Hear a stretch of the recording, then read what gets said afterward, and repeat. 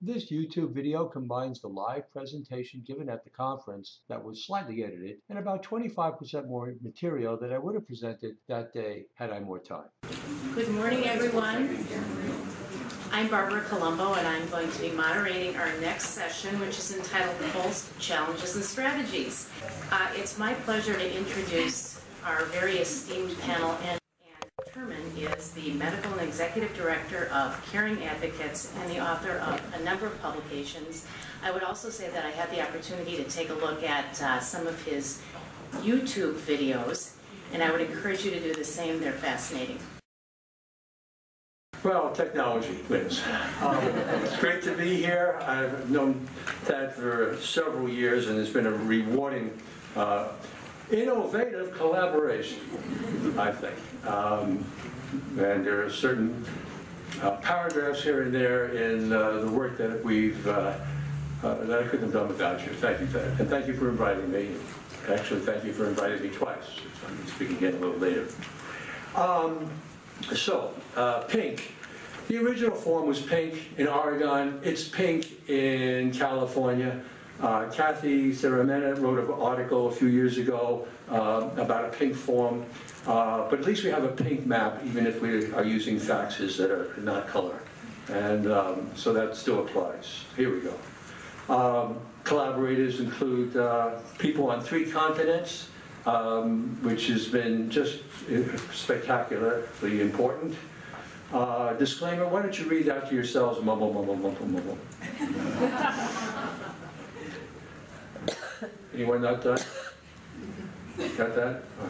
Okay, well, uh, here's the bad news, and I'm going to try to mitigate it. Um, these things that I'm going to talk about today don't happen all the time. They don't happen most of the time. Uh, but they probably could happen. And so uh, these are a set of caveats.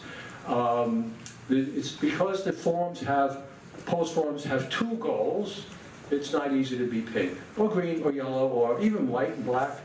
Because they may not be effective, moral, reflect patients' wishes, be constitutional or comply with other state laws.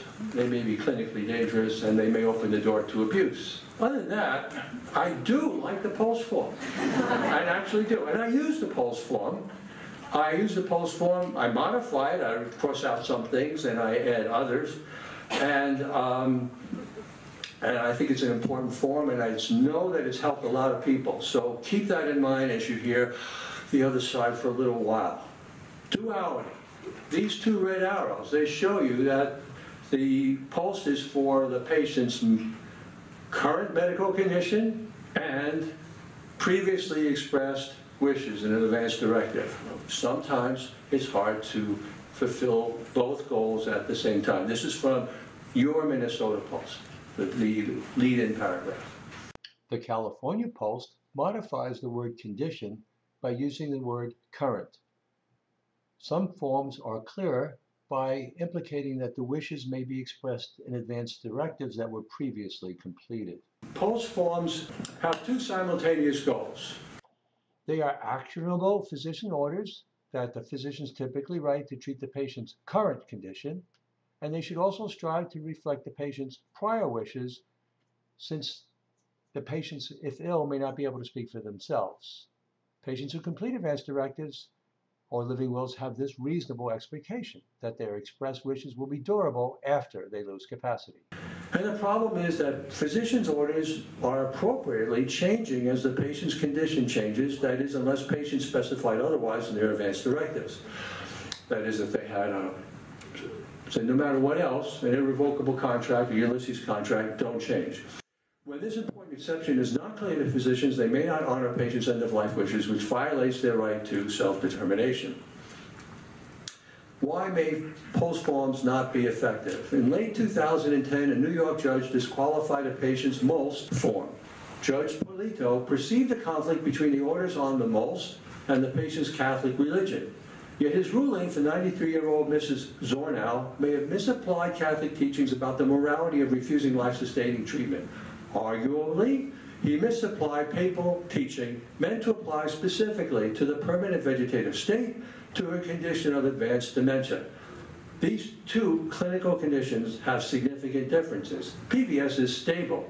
Advanced dementia is a progressive neurodegenerative disease and, is, and progressively declines to ultimately be terminal. PVS patients are unaware. Advanced dementia patients can and do experience suffering and both psychic and physical pain. The judge indicated what others can do so their wishes will be honored. He advised particularize the specific mental conditions actually encountered in anticipation. By these words, the judge likely meant that one should complete a living will that indicates what specific treatments one does or does not want for a specific medical or mental condition. Recommended then, living wills should be attached to the POLST-paradigm forms to indicate what specific symptoms, losses of function, unwanted behaviors, and conflicts with lifelong values would, in the person's judgment, fulfill her criteria to forego specific treatments such as tube feeding. Being specific may avoid a future prolonged argument about the otherwise vague criteria on advanced dementia. Being vague may unfortunately lead to a bad result, which I call to delay is to deny, honoring one's last wishes. To be effective, the recommendation, particularly for advanced dementia, must be very specific. And the reason is that dementia has a course that is quite variable among patients. For example, it's taken years for experts to agree on a set of criteria for hospice eligibility. In addition, patients' preferences vary dramatically. And this is being learned by asking advanced care planners how they would judge four dozen specific conditions regarding whether they would or would not want life-sustaining treatment. Why POLST may not be moral.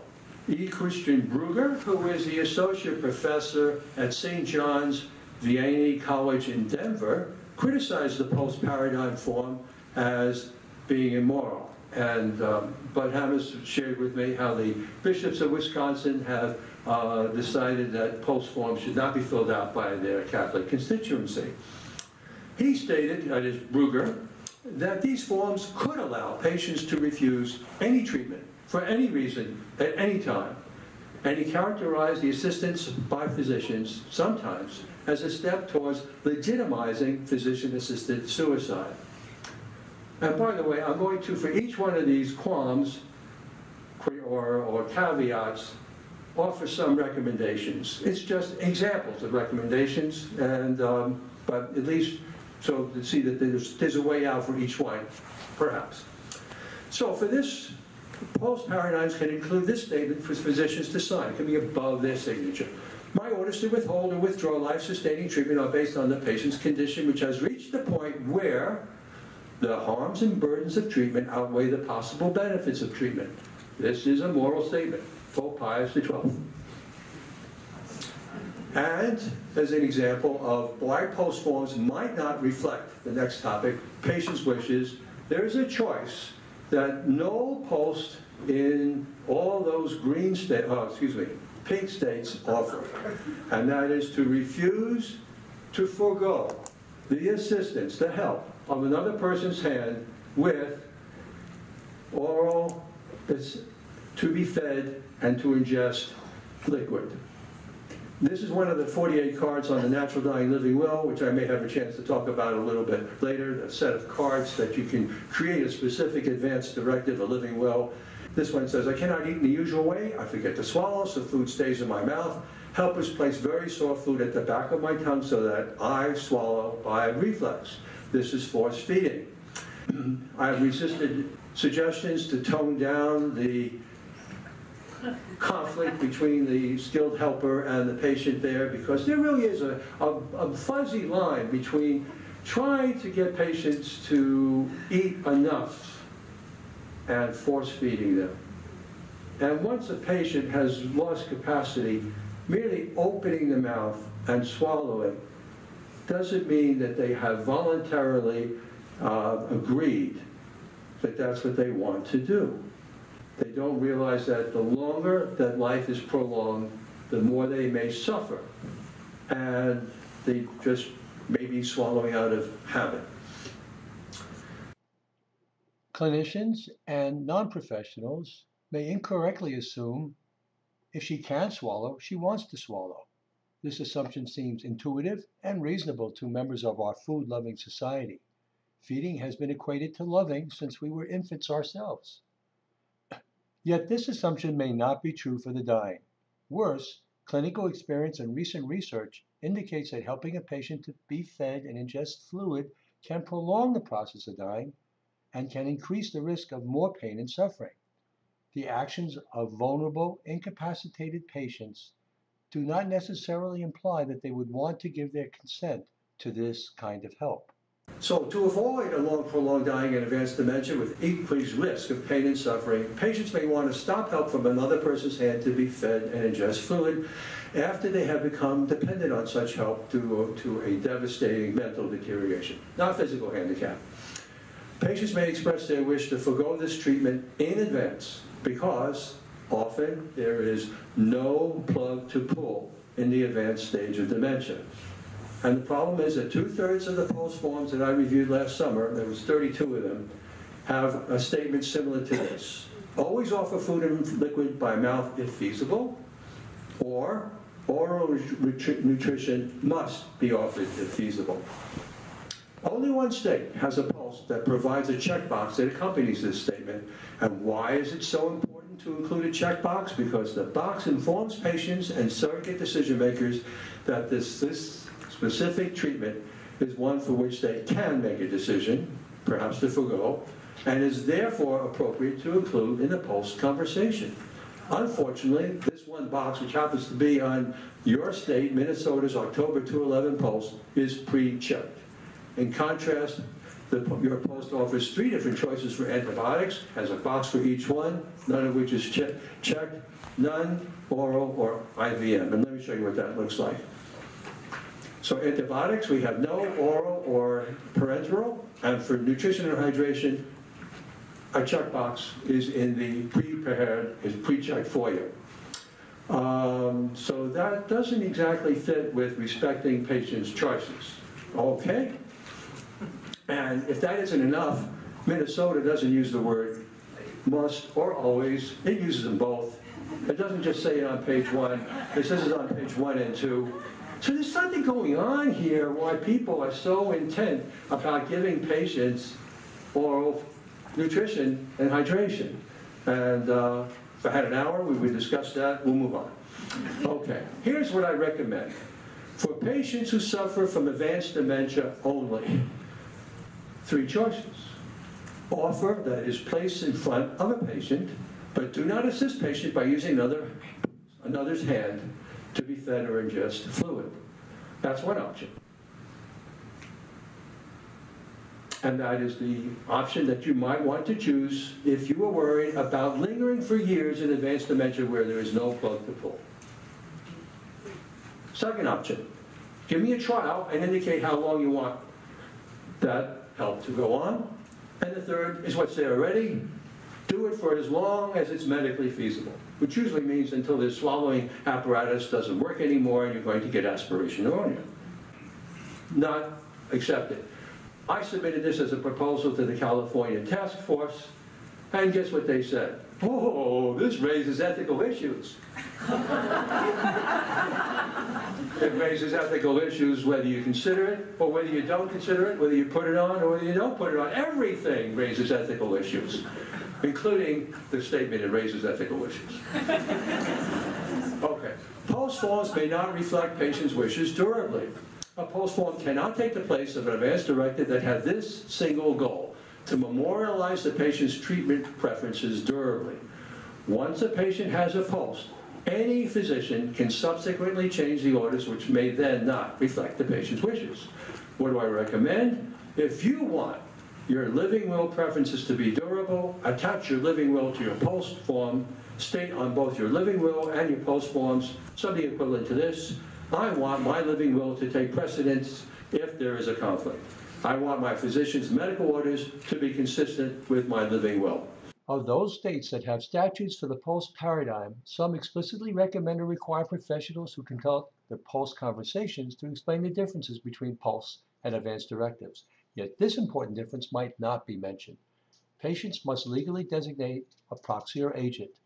Surrogate decision makers, the people who sign the POLST, even if the patient had clearly informed them about their specific treatment wishes, will still lack the authority to get, make others honor these wishes. Patients may not realize surrogate decision makers who sign POLST forms will not have legal standing to make sure that others, especially physicians, honor their wishes. For example, a POLST surrogate decision maker will not have the authority to fire one physician and to hire another, or to insist on and against medical advice discharge if the physician or the institution refuses to provide, for example, palliative sedation to unconsciousness for unending unbearable pain that cannot be relieved any other way, or if they just refuse to honor the living will's request to forego help with oral feeding. So we recommend that we inform patients that they need to designate a proxy agent even if they complete a POLST form. Caring Advocates offers a natural dying physician's orders that is on the same sheet of paper but the other side of the natural dying advance directive. Why postpones may not be constitutional. The patients, patients have rights to self-determination, to bodily integrity, to receive informed consent, and all this derives from both constitutional and common law. And the federal Patient Self-Determination Act extends patients' rights to expressing these wishes in advance. So to attain its stated goal, POLST Paradigms must honor patients' prior expression of treatment preferences as memorialized in living wills. To define the word, to honor, means to consider these wishes durably after the patient has lost capacity. Attorney Tony Chicotel of the California Advocates for Nursing Home Reform showed that two kinds of observations by Ombudsman that were reported could violate patients' rights. One, another person was asked to sign a POLST form as the surrogate decision maker, even though the patient did have a previously appointed legal proxy or agent. And the other, the POLST conversation did not include the patient, but led to a treatment decision even though the patient still possessed decisional capacity. California probate code is one example of how some states that have engaged in the legislative process to embody the POLST have resolved the potential conflict that can exist between the POLST form and an, and an advance directive. And what it says is that if a conflict arises between the individual's written or oral direction concerning a healthcare decision and the orders on the POLST, then the most recent order or instruction is effective. Tony Chicotel and I think this is not constitutional. Uh, typically, the most recent form will be the POLST, not the advance directive, because eventually the patient will lose capacity and no longer be able to sign a new advance directive. Some states uh, are worse than California, Idaho, and uh, the way the law reads there for resolving conflicts between um, POLST and advance directives is that it doesn't matter which one you sign first, the POLST is always going to rule. And it's an amazing infringement on patients' rights, I think. In Minnesota, of course, the POLST is not defined in statute, and as Dr. Ratner said, it's also not a contract, not binding, not unchangeable, and not an order of a legal court. However, if a POLST is completed based on a patient's healthcare directive, the medical provider does have legal protection if the, if the patient's preferences are honored, and this is one of those immunities Dr. Ratner talked about. Dr. Ratner also opined uh, in a previous presentation that the patient's surrogate signature is ethically and legally not required and I would differ with that, and we can discuss that later. So how would we, what would be the recommendation for POLST forms not being constitutional? In the event of conflict, the effective form will be the one that the competent patient most recently signed. And I add the uh, redundant, uh, as you all know this, the word competent is in parentheses for additional clarity because it's actually not needed, needed since only competent people can sign such forms. So that might take care of that. And it's not consistent with state laws. Some, some physicians may not realize that it is not legal to appoint a surrogate decision maker to sign the POLST if the patient had previously designated another person as her proxy agent. Or that they could lose immunity if they write orders that are not consistent with the patient's advance directive if it was known to be available. And if sued, they may need to prove that they made a reasonable attempt to find and review patient's instructions, that is, the living will, if one was known to exist. So I would provide this legal guidance to physicians in the section completing POLST. And there's one living will that I know of that does provide this, and it's the one that I created with the help of Professor Pope. And here's what it says. Physicians should consider, you incur three legal ri- risks if you do write orders that conflict with my living will and its expression of my known wishes are clear and available. The first is criminal. Providing treatment without consent is the crime of battery according to most state constitutions and some state statutes. The second is civil. You may lose immunity to being sued for malpractice since the defense of acting in good faith will not apply. And the third is administrative or disciplinary. A complaint could lead to an action being taken against your license. So we would hope that that paragraph on the living will would encourage physicians to honor the living will. But we don't stop there, actually, in the ironclad strategy. Uh, it's good, but it's not good enough. The ironclad strategy has these additional components a bilateral contract between the patient and the proxy or agent, the patient's sworn affidavit, the patient's video recorded interviews, and the use of technology to rapidly deliver patients' forms and videos to the treating clinicians so they can learn their wishes and may be convinced to honor them. Why POLST forms may be clinically dangerous. For convenience, some providers use the POLST forms instead of what was classically called the preferred intensity of treatment or the preferred intensity of care forms. Here's the problem. Once a POLST form is placed on a patient's chart, clinicians may assume that the treating physician has made this conclusion. I would not be surprised if the patient died within a year. Minnesota, two years. Given the recent finding that 78% of physicians misinterpret living wills as DNR orders by Ferdinando Mirarchi, the degree of similarly misinterpreting a POLST-paradigm form should be considered high until proven otherwise. The problem at worst, patients who do want life-sustaining treatment may get POLST forms that forego such treatment. Clinicians may interpret the orders on these forms by assuming that if a patient has a POLST, she must want to forego life-sustaining treatment. Hickman, with Bud Thomas, published a very nice paper. Overall consistency rates between treatments and POLST orders were high for resuscitation, 98%. But I want to take a closer look at the data. 299 out of 299 who wanted not to be resuscitated were not resuscitated. 100% compliance. Fabulous. 106 patients indicated that they wanted CPR or full code, and 94 did not have an arrest, so were still living. Of the deceased patients, of which there were 12, five of them had a revoked do not resuscitate order. It might not have been on a POLST, but it was revoked. Of the remaining seven, six were not resuscitated. That's a 15% compliance rate. So perhaps uh, Dr. Uh, has a uh, comment about that afterwards. To reduce the clinical dangerousness of POLST, those states that have uh, the criterion of uh, old and frail uh, may be too vague, and perhaps physicians should be asked to sign yet another caveat or agreement or attestation that my medical orders are appropriate based on the patient's probable prognosis. So we don't give out POLSTs to everyone at a nursing home and say, hey, look, we're really good. We're really doing a great thing here by giving a POLST to everyone. POLST forms require the signature of a physician or provider, but do not require a statement that the physician discussed these life-determining orders with the patient. I would recommend that even if patient signatures were required, you, you still need a witness.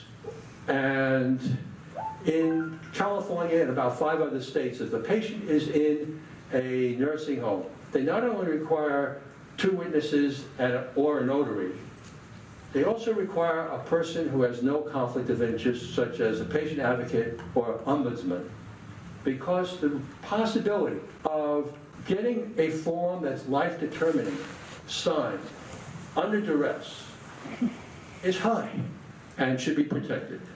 I've got a secret. Will the real POLST sign in, please? Because POLST forms open the door to abuse. This is from the state of Washington, which is a green state. Their POLST is in green. And on 6/11, this person signed, I interviewed the caregiver who witnessed the POLST. Fred signed a physician's orders for life-sustaining treatment. Uh, Can you tell me about how he got to sign that piece of paper? He was initially interviewed by a physical therapist who asked him, if Jane came in here and found you not breathing, would you want to be resuscitated? And he said, yes. So it got me thinking, and I asked uh, Carol what his wishes were, and she said no. And then on our next Wait, visit, wait she, a second, wait, a- she said no to what? to my question, he, that she said no, he did not want to be resuscitated. But you heard him say the other uh, answer Yes, I did. To the yes, physical therapist, okay. Yes. Uh, so on her next visit, she brought the POLST form, uh, you know, the green page, which I had never seen. Mm-hmm. And the whole procedure was very alarming to me because I know Fred very well, and he is a senior with, you know, memory loss, and he needs time to grasp things.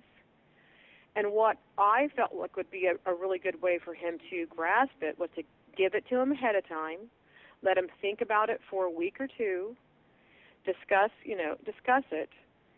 But what she did is she sat him down at the table, and I witnessed the whole thing and it was quite alarming because she had the pen in hand, and I felt that she led him very much in the answers.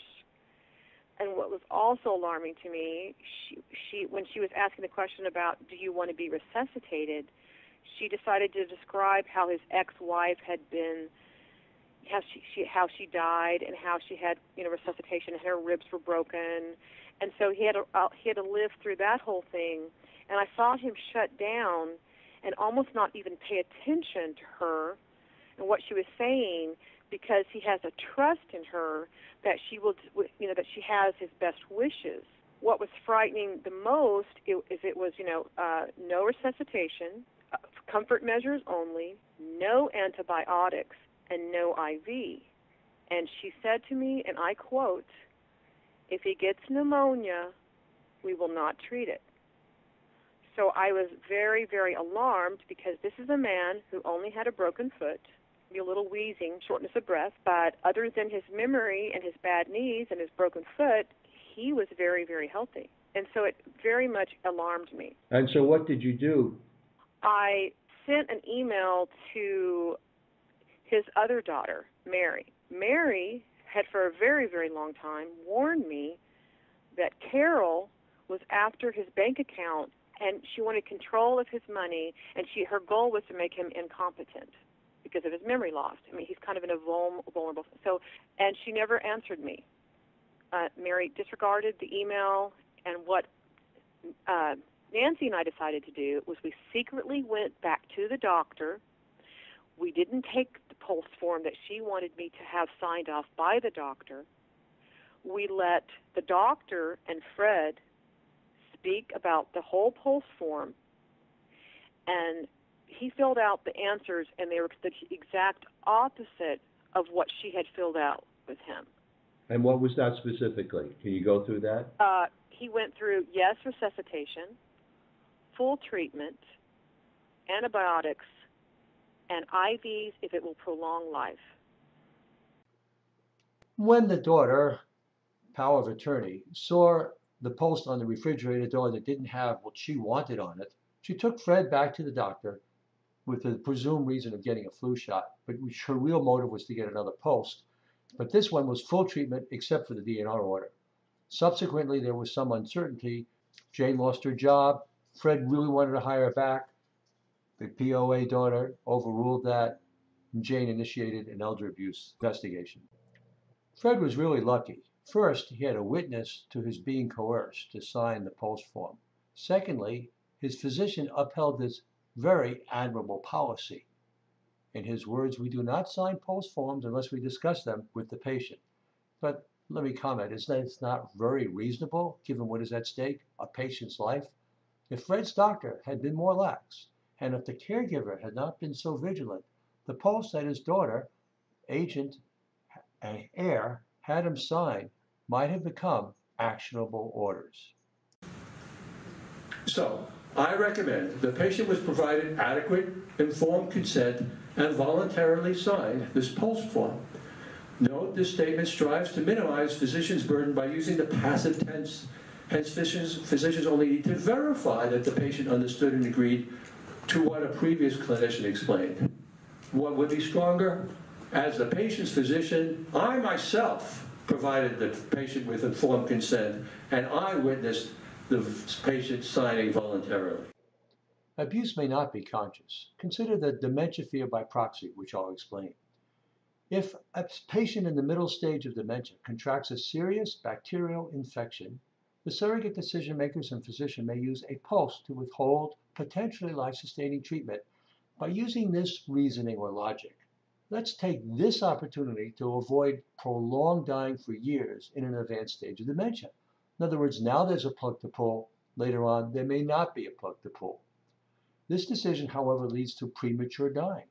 To avoid violating the sanctity of life, use a POLST and a particularized living will that specifically says that you do not want help to be fed and to ingest fluid if you do reach the advanced stage of dementia. But in the middle stage of dementia, you do want to receive treatment so that you can continue living and enjoying the simple pleasures of life, as illustrated in the next slide. If one uses a living will that can really be specific, it can give advanced care planners a way to insist that they do receive life-sustaining treatment in the middle stage of dementia. Consider this illustrated card, which I'll read. First, I can enjoy things like eating, sing-alongs, finger painting, and being touched. Then I get very sick. Ask my doctor if I might get better. If he answers yes, treat me. Give me full treatment for a reasonable time.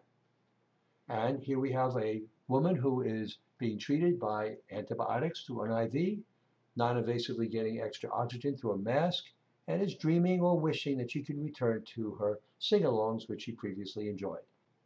This is what happened. Across the country, surrogate decision makers and doctors, with or without the POLST, say dementia is a progressive disease. Advanced dementia is a horrible disease. There's no plug to pull often for years in advanced dementia. Now we have a plug, let's pull the plug.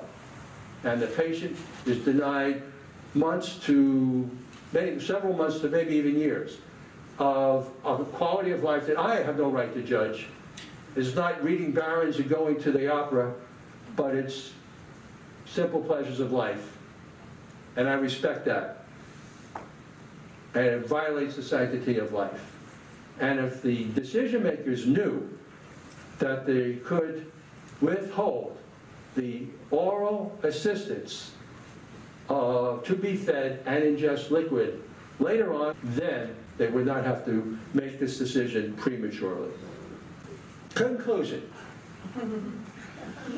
It's not easy being pink, green, or yellow. While hybrid POLST forms probably work well most of the time for most patients, certain issues still loom.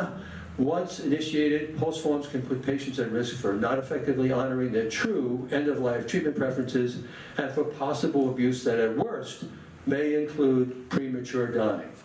My general recommendation, if one wants to use a POLST, attach a specific living will, as Judge Polito would say, particularized, living will and appoint a proxy agent whom you trust.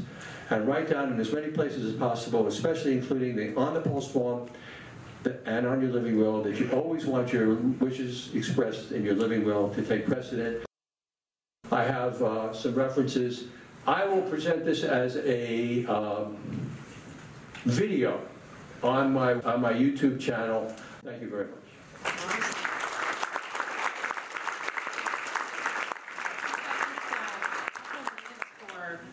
Questions. Anybody have any questions? I'm sure. Thank you, Dr. Terman. The, uh, the, uh, uh, uh, you asked about the, the, the honoring of preferences and the discrepancies. I can speak specifically about the data from La Crosse, uh, where we had five patients coming from a nursing home whose POLST uh, said full CPR, full treatment, and they died without receiving CPR. Now, the Hickman data is retrospective, but I had the advantage in my location to actually look at what happened to these patients.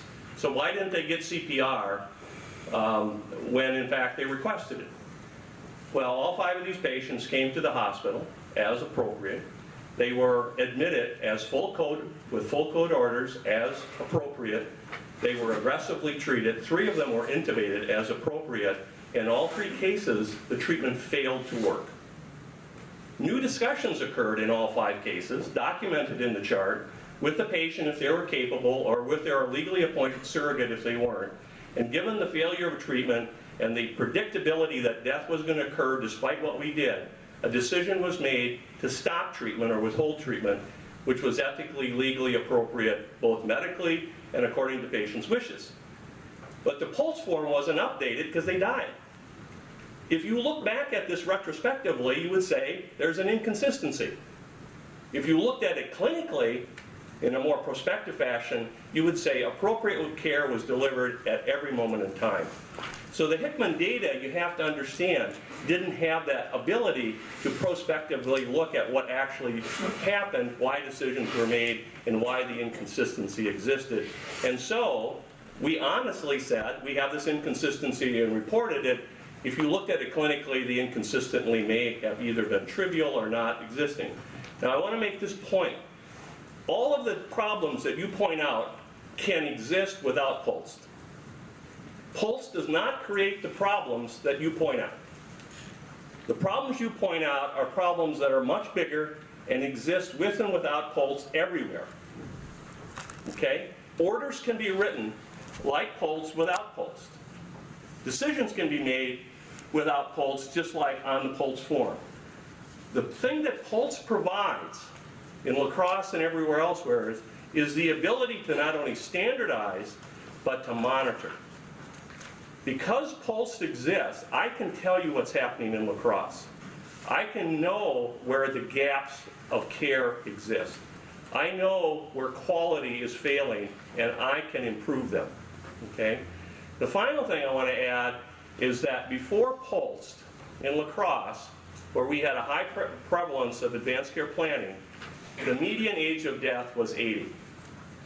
After POLST has been implemented, and nearly 70% of people at the time of death have a POLST, the median age is 80. The length of life in La Crosse has not changed by one year before and after POLST. So anyone who says, oh, POLST is being abused and people are dying early, we're foregoing treatment, I'd like to see the data that supports that because it's a fear, but the evidence doesn't show it. So there are two reasons why um, the DNR order, um, the CPR, I want code order, was not honored. One was because some of the forms uh, were were changed without changing the POLST. And that is in the footnote in Hickman's uh, um, article. The other reason you say is because, in the doctor's opinion, it would have been futile. And and I'm, I'm okay with that too. Except that um, there are religious people uh, who want every attempt to be made for as long as possible. If that is their wish, it will not have been uh, fulfilled. I agree with you that uh, the POLST has improved things and that uh, bad things can happen without the POLST. Uh, My discourse here is only uh, to the extent that it's reasonable and you agree. Can we make POLST better? Can we make it safer? Can, uh, can we, uh, and if we can, then here are a few suggestions to consider. And, and, and I, I'm not Then we're still friends. Right, no, no, I think your, your suggestions have merit and need to be discussed, and the point is, because we have a system, because there is standardization, because we can measure outcomes, we can actually know where the problems are, and then we have an opportunity to discuss how to improve them. Totally agree. If we don't have POLST, we have nothing to improve, and we don't even know what's going wrong. That's my point. Marshall, anything to add to that? Uh, No, but I, I have a question for Dr. Terman, if I can. I mean, if others want to speak up. Um, Let me address uh, one weakness you suggested may not be effective, and you cited the New York case. Right. My question is, what was that situation doing in the court in the first place? Because something has to go wrong for a factual situation to end up in court. There always The is. whole point of both advanced directives and POLST is to keep decision-making uh, outside of the, uh, okay, outside of the formal uh, legal system. Um, So the, the problem to me, it seems, is not that there was a bad judicial decision as much as something else must have gone very wrong for that case to be in the courts in the first place. Okay, I'd love to answer that question. There were seven children. And and one of them was from California. Six of them said, "Mom does not want a feeding tube." One child said, "Mom wants a feeding tube." The judge was Catholic. If you read his 22-page or 22,000-word ruling, uh, in which he quotes not once but twice uh, the Ethical and Religious Directives Number 58 and Pope John Paul II, you can see where his bias is. He decided that the six children who could give testimony that, about what the mother wanted was not clear and convincing. Didn't even hear it. Whereas the one daughter who uh, was present, uh, he not only agreed with her, but he also agreed with an undocumented, unsigned uh, affidavit from someone who did not appear uh, for eight years ago, who did not describe the condition of advanced dementia, but said, when I spoke to uh, Mrs. Zornow uh, eight years ago, she did want tube feeding. He went with that. It was uh, a bad ruling, in my opinion. Okay, so the problem was a dysfunctional family that couldn't agree among themselves. And, That was and the resolution could have been, Which nothing is going to solve. I Oh, mean, wait. No document's going to solve that. I love arguing with you, Marshall, because even the judge said if Mrs. Zornow's wishes had been particularized, then he would have been obligated to go forward with it. The POLST, checking a box, was not enough. If she had had a clear and specific living will, which said, at least if I reach the advanced stage of dementia, or better yet, if I meet these criteria, my criteria of loss of symptoms, loss of functions, loss of, uh, and conflicts with um, un- uh, long-term values and unwanted behaviors that I feel are important for the advanced stage of dementia. Then I do not want tube feeding. It would have been thrown, it would not have even been heard in court. Okay. So I, I think uh, dysfunctional families can be overruled by really good living wills. Is there, we can take one more question before the break? Not a question, just a comment. Thank you very much for a wonderful, wonderful presentation. My name is Rin Burke, and I'm an internist, a pediatrician, and a hospice physician. I wanted to reassure you in the, in the status of uh, predicting the outcome of advanced dementia. Our performance scales are getting more and more accurate, and we're getting much more um, concrete about predicting the rate of decline. Um, and typically, our hospice physicians that come in and consult for advanced dementia patients can give a pretty accurate um, anticipation of the progress of decline and the timeframes involved. So we're improving. Thank you for your comment. And with that, I think we're going to take our break. Um,